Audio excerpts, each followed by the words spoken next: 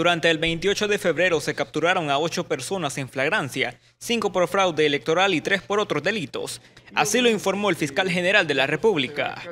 También es importante decir que tenemos a un capturado por fraude electoral en el oriente del país, quien emitió su voto en un lugar a donde no le correspondía, no obstante haber sido advertido de que no podía hacerlo. Entonces estamos ya esperando que nos remitan la diligencia para poder presentarlo a los tribunales. ¿Qué garantías está dando? De estos, cinco capturas se realizaron en la zona oriental del país. Todos serán puestos a la orden de los tribunales en las próximas horas. Para Cara Sucia Noticias, Byron Martínez.